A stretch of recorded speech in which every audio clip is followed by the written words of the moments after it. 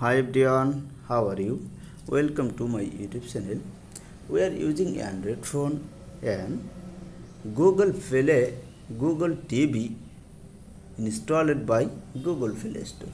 Already when installed you google tv then some internal uh, setting need your apps. Your google tv media uh, your mobile phone stay all video audio not showing on google tv then this problem face you then watching this video and solve your problem now first your mobile phone display setting icon search and click setting icon when click setting icon apps and this interface showing your mobile phone. Then upper side search option clicks apps and search.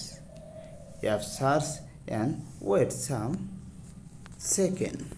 Now showing this apps option click and manage apps option click. And upper side search option showing this search google